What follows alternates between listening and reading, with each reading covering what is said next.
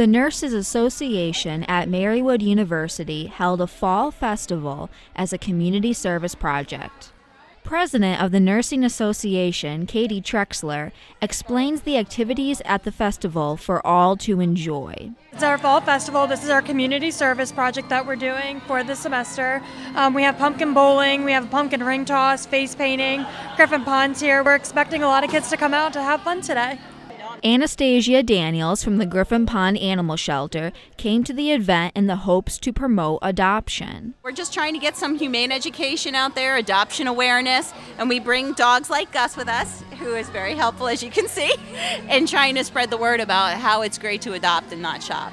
It's great to have a community event like this because you're raising not only awareness for different children's activities from Marywood University itself, which is a great education institution, but it also helps bring together community involvement that you might not necessarily see all in one place.